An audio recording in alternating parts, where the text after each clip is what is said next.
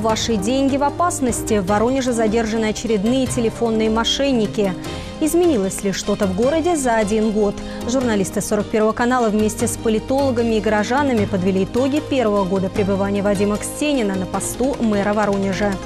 Лучший в России физрук работает в 55-й Воронежской школе, и это женщина Любовь Викторовна Саврасова. Сегодня о былом величии напоминает лишь гирлянда на Московском проспекте, каким был Воронежский экскаваторный завод. Back to USA. Журналисты 41 канала побывали в музее советской эпохи. Эти и другие новости в программе «Воронеж. События. Факты» на 41 канале в студии Лилия Ан. Здравствуйте. К событиям в регионе мы вернемся после краткого обзора основных новостей в России и мире. Все самое заметное за 180 секунд. Международные новости. МИД Китая вызвал послов США и Канады из-за задержания дочери основателя Huawei. Заместитель министра иностранных дел Ле Юйчен выразил послам решительный протест и потребовал, чтобы США отозвали ордер на арест, на основании которого девушка была задержана в Канаде. Арест представительницы руководства одной из крупнейших компаний Поднебесной – новое обострение в китайско-американских отношениях, сообщает Reuters. Страны несколько месяцев находится в состоянии торговой войны, о приостановке которой было объявлено 1 декабря. На китайском острове Хайнане завершился конкурс красоты «Мисс Мира-2018». Победительницей стала 26-летняя Ванесса Понсе из Мексики. Согласно условиям конкурса, в течение года Понсе будет жить в Лондоне и принимать активное участие в благотворительности. Второе место заняла представительница Таиланда. 19-летняя россиянка Наталья Строева вошла в тридцатку лучших. Аргументы и факты напоминают, россиянки завоевывали титул «Мисс Мира» два дважды. В 1992 году Юлия Курочкина, а в 2008 Ксения Сухинова. Новости ближнего зарубежья. Блок Никола Пашиняна по предварительным данным одерживает победу на внеочередных парламентских выборах в Армении. Политический альянс, возглавляемый исполняющим обязанности премьера республики, получает более 70% голосов после обработки всех бюллетеней. Выборы состоялись накануне 9 декабря. Помимо блока Майшак Пашиняна в парламент страны проходит партия «Процветающая Армения», у нее около 8,5%, и «Светлая Армения», набирающая около 6,5%, сообщает Центр избирком. Российские новости. Стокгольмский международный институт исследований глобальных проблем пришел к выводу, что Россия впервые с начала 2000-х годов вышла на второе место в мире по производству оружия, сообщает агентство AP. По информации исследователей, Россия по-прежнему отстает от США, однако сумела обойти Великобританию. В настоящее время Москва занимает около 10% мирового рынка продажи оружия, общая стоимость которого оценивается почти в 400 миллиардов миллиардов долларов. Оптовые цены на красную икру рухнули вдвое, что положительно отразилось и на розничной стоимости продукта. За килограмм деликатеса, реализуемого в декабре в магазинах, потребителю достаточно заплатить 3000 рублей, хотя годом ранее просили 4000. Причиной тому рекордный улов лососевых рыб, рассказали московскому комсомольцу в Росрыболовстве. Происшествием в регионе в воскресенье 9 декабря около 22 часов 50-летний воронежец, управляя японским внедорожником, допустил лобовое столкновение с автомобилем «Газель» скорой помощи. ДТП произошло на улице Холмистой в направлении улицы Антонова-Овсеенко. В результате аварии телесные повреждения различной степени тяжести получила 36-летняя фельдшер скорой помощи. По сообщению пресс-службы ГУМВД области, водитель иномарки отказался от медицинского освещения свидетельствования. По словам очевидцев, водитель был пьян. В Воронеже пропал 38-летний мужчина с неустойчивой психикой. Еще 13 ноября он ушел из дома на бульваре Победы. Об этом сообщили поисково-спасательные отряды «Лиза Алерт» и «Черноземье». Информацию подтвердили в ГУМВД по Воронежской области. Пропавший Артем – басистый, среднего роста и худощавого телосложения. У него русые волосы и зеленые глаза. Был одет в синюю куртку, темно-синие джинсы. Если вам что-либо известно об Артеме басистом, просьба сообщить по указанному указанным телефоном или в полицию по номеру 02. Мужчина может быть опасен. Алло, ваши деньги в опасности. Полицейские задержали подозреваемых в совершении серии телефонных мошенничеств в особо крупном размере. Подробности в сюжете наших коллег из пресс-службы ГУМВД области.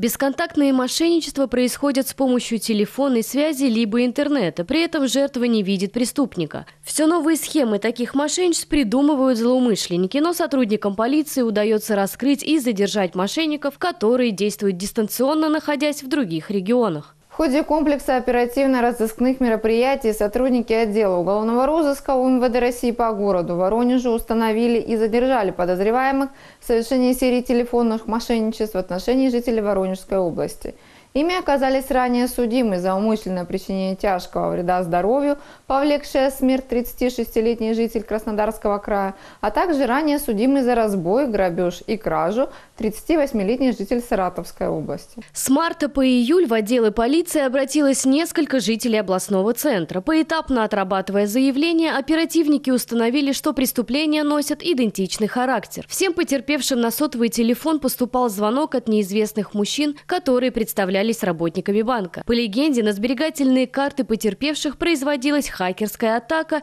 и попытка блокировки счета. Поэтому требовалось обналичить денежные средства в отделении банка и перевести на другой банковский счет. Согласно инструктажу, на вопросы сотрудников банка гражданам следовало отвечать о переводе денежных средств в пользу родственников. Потерпевшие, переживая за свои сбережения, все делали по указанной схеме. В ходе расследования уголовного дела установлено, что подозреваемые звонили на случайный телефон телефонные номера.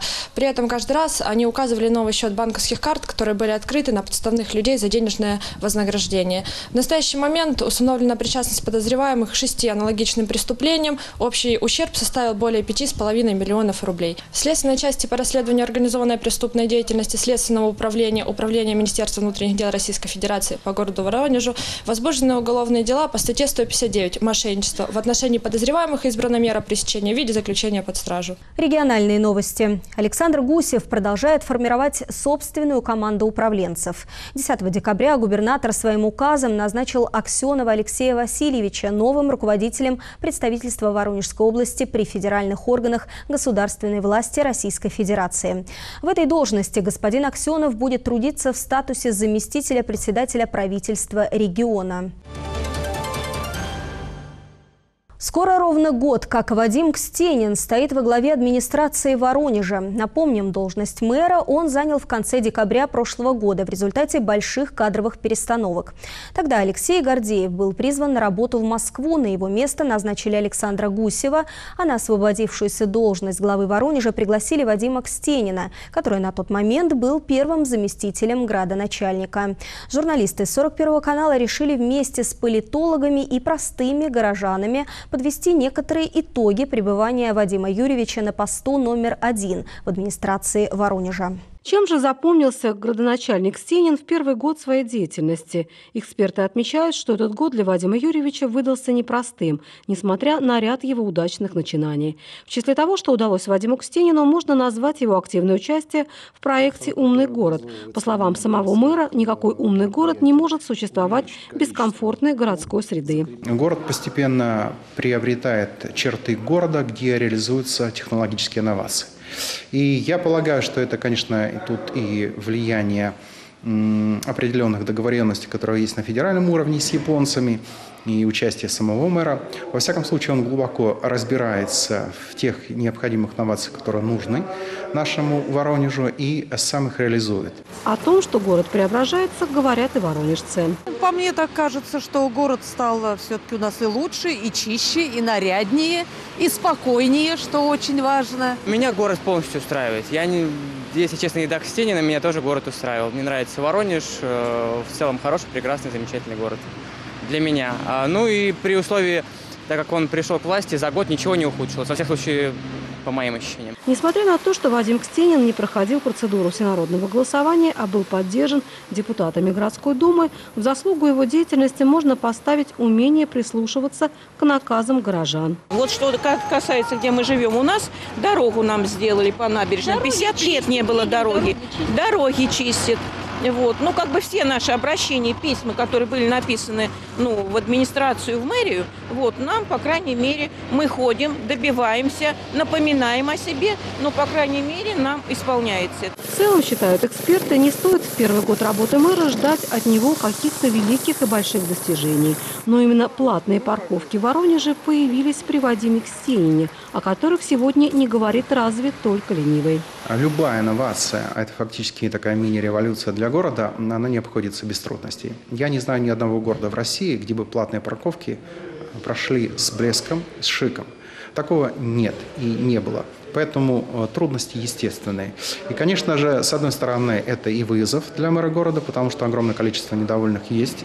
С другой стороны, это и возможность для мэра Вадима Кстенина подкорректировать это. И я вижу, что реально работа в этом направлении идет.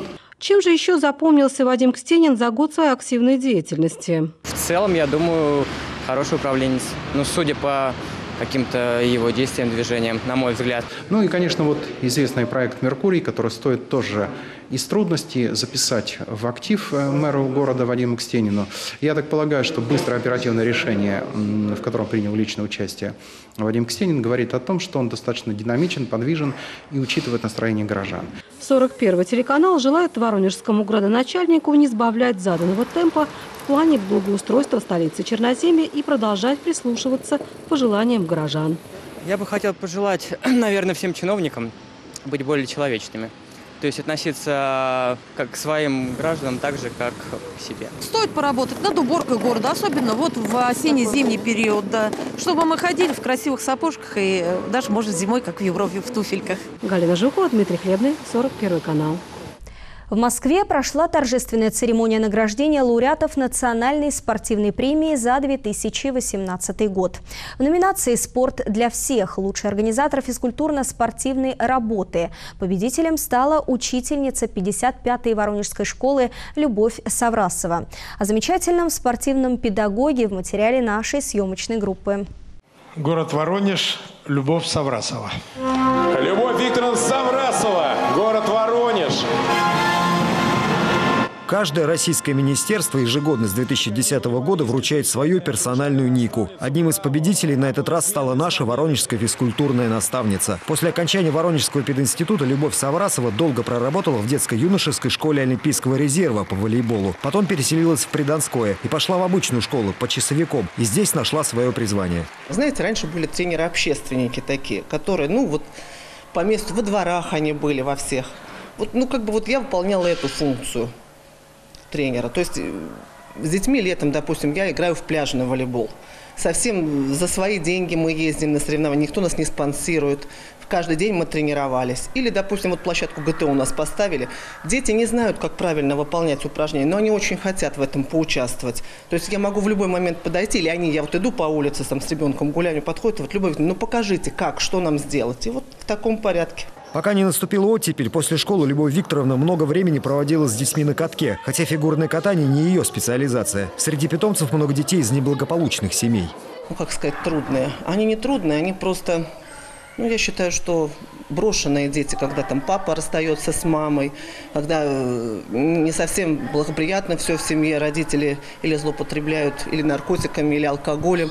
Я считаю, что такие дети просто, ну, Ой, ну не повезло им в жизни.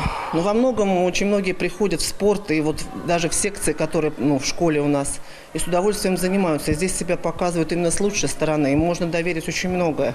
И они ну, поверят в свои силы. И дай бог, чтобы из них получились хорошие граждане ну, России. Сама Любовь Викторовна уверена, жизнь сложилась. Занимается любимым делом. Только в школе проводит 30 часов в неделю, поэтому и зарплата выше, чем в школе Олимпийского резерва. Придонской поселок спортивный, здесь два спорткомплекса и бассейн. Спортом заниматься удобно, не надо ехать в город, а поселок все-таки на отшибе. Самое главное, что, мне кажется, отличает Любовь Викторовну как других преподавателей, это сила духа и, наверное, такой боевой настрой, который она может подарить каждому из нас. То есть э, это какая-то уверенность, это умение выходить из сложных ситуаций, и она, наверное, учит каждого из нас э, концентрироваться в самых непонятных ситуациях, чтобы мы не распылялись, а именно показывали все, на что мы способны. С 2011 года Любовь Саврасова возглавляет спортивный клуб «Олимп». Также она занимает пост спортивного директора Воронежского регионального отделения Всероссийской Федерации школьных футбольного спорта. Среди воспитанников мастера и кандидаты в мастера спорта. А количество победных кубков она уже не сможет подсчитать. На уроке физкультуры после обычных упражнений Любовь Викторовна переходит к занятиям с мячом, приучает шестиклассников к своему любимому виду спорта – волейболу. Личный пример – это, наверное, самое главное качество, которым должен обладать и тренер, и учитель. То есть я обязательно должна что-то детям показывать. Не сидеть на скамейке, там, бросить мяч, и, а обязательно, чтобы я встала, могла показать то упражнение. И, конечно же, ну, подход к каждому ребенку должен быть индивидуальный. Не все будут спортсменами, понимаете? Не все пойдут играть в спортивную секцию, заниматься ну, специализированно. Но выйти на пляж, поиграть в тот же волейбол, мне кажется, должен любой ребенок выйти и не стесняться этого. Любой должен этому научиться. Игорь Захарченко, Валерий Бобкин, 41 канал. Всего каких-то шесть лет не дожил до своего столетия Воронежский завод экскаваторов. Предприятие, выпускавшее в годы войны легендарные «Катюши», прекратило свою деятельность еще в 2009 году. На днях стало известно о повторной продаже активов обанкротившегося предприятия за долги. Эта информация стала поводом для журналистов нашего телеканала вспомнить, каким был завод в пору своего величия. В историю предприятия окунулась Олеся Алисюк. Пока бизнесмены не выстраиваются в очередь на приобретение некогда легендарного завода. Сейчас все здесь выглядит уныло и заброшено. Любой желающий может свободно пройти и посмотреть на завод, махину прошлого века. Завод закрыли, а с ним ушла и эпоха. Завод был весьма известным далеко за пределами не только нашей области, но вообще нашей страны. В 28 стран мира поставлялись экскаваторы. Очень трудные времена наступили в 90-е годы. Завод кое-как, но сумел все-таки выжить, хотя полностью так и не отправился от того удара, который постиг и нашу страну в том числе. От былой славы и мощи не осталось ничего. Почти за 10 лет территория завода превратилась в руины, а когда-то все так замечательно начиналось. Здесь же целые традиции династические были. Была поставлена э, великолепная, другого слова не придумаешь, э, школа преемственности, технический персонал, рабочий. Э, постоянно висели объявления требуется, требуется, требуется. То есть проблемы не были, проблем не было. А бывали такие э, объявления. На данный момент рабочие места все заняты. То есть востребованность была на высоком уровне. На первых порах, как только в Воронеже появился создатель завода Рихард Поль, его предприятие в чем-то можно было даже назвать градообразующим. Завод назывался изначально Рихард Поля. Воронежцы сторожилы шутили по этому поводу. И стоял он по большому счету, э, счету в чистом поле. И фамилия одного из владельцев, прибалт по происхождению, Рихард э, Поль. Вообще у завода давние традиции с 1870 года, но сюда, в Воронеж, он приехал в Первую мировую войну в 1915 году. Только в 1917 году на этом заводе работало почти полторы тысячи рабочих. Предприятие было ведущим в стране. Здесь производили оборудование для деревообрабатывающей кожевенной промышленности, паровые котлы, машины, оборудование для хлебозаводов. В самом начале Великой Отечественной войны, уже 2 июля на Воронежском экскаваторном заводе были произведены первые легендарные «Катюши». Вскоре завод эвакуировали в Свердловск, и дальнейшее военное производство продолжалось там. В послевоенные годы и вплоть до банкротства в 2009 году году предприятие производило экскаваторы. Сейчас некоторые уцелевшие цеха сдаются в аренду. Закрытия самые разные могут быть. Мы можем об этом только вот э, люди со стороны догадываться об этом или э, какие-то различные версии выдвигать. Э, очень хорошая площадь. Э, застройка или использование для других целей. Завод был отдельным городом в городе. Пожалуй, для успешной жизни рабочего здесь было все, о чем только можно было мечтать. Все изменилось в кризисные 90-е, а в начале нулевых завод полностью развалили. Сейчас о былом величии напоминает лишь Ерлянда на Московском проспекте. Олеся Алисюк, Игорь Наумов, 41 канал. Не музей, а настоящая машина времени. Энтузиасты создали в Воронеже экспозицию, в которой представлены не предметы искусства, а большей частью обыкновенные вещи. Изучая их, можно многое понять о том, какой была жизнь в советскую эпоху. Тему продолжит Вячеслав Запорожец.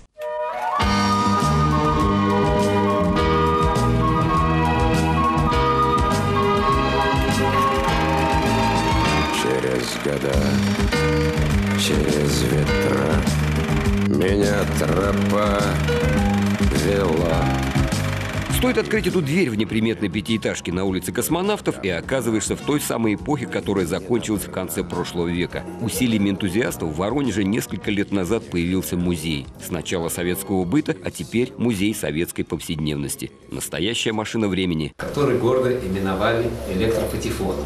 У него все то же самое. Иголочка такая же, видите, стальная. Музей собирали годами. Детище Владимира Андреевича Мальцева, председателя общественной организации по охране исторического наследия «ЭКОС», у любого вызывает неподдельный интерес. Электротехника и посуда, мебель и одежда, печатные машинки и арифмометры – это не просто коллекция экспонатов, а лаборатория по исследованию прошлого. Не в предметах искусства, а в бытовых вещах. Студенты здесь и посетители, и добровольные помощники. Тут все очень интересно, но в основном я увлекаюсь мебелью, мне очень нравится мебель, и поэтому для меня здесь очень много всего было очень интересного, такого запоминающего.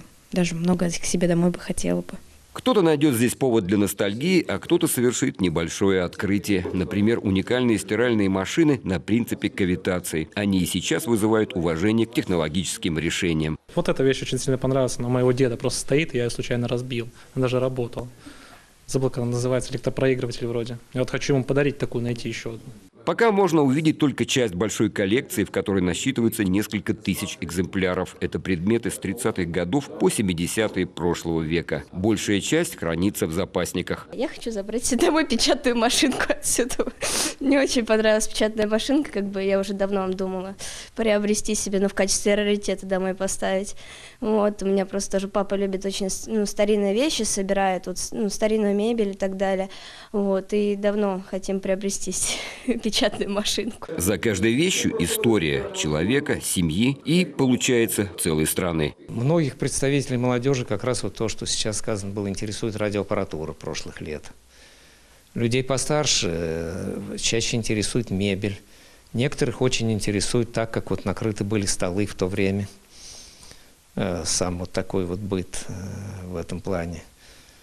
А многих вообще интересует именно жизнь того времени, потому что я иногда и истории рассказываю какие-то, как жили, как отмечали праздники, как Новый год. Музей начинался с выставочной деятельности. С годами коллекция переросла в музей, а затем и в несколько серьезных тематических экспозиций. Воронежцам есть чем гордиться, считают энтузиасты. И в первую очередь своими знаменитыми земляками. Кто знает, что Николай Рыбников, Борисоглебский, наш воронежский чита.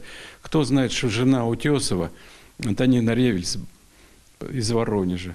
Правда, немножко они пожили, но, по крайней мере, это же мы гордимся, что самая красивая женщина, я считаю, живет в Воронеже. Жена у меня красивая.